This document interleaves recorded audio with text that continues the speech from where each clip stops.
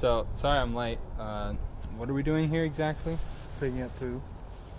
Uh, are there any gloves? No, I'm just using my bare hands.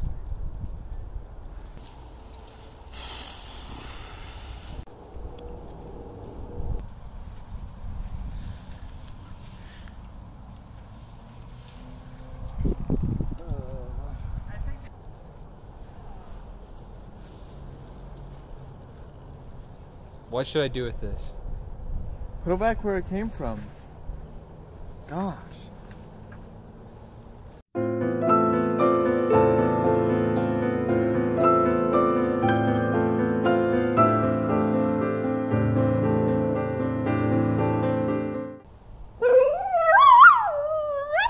What are you doing?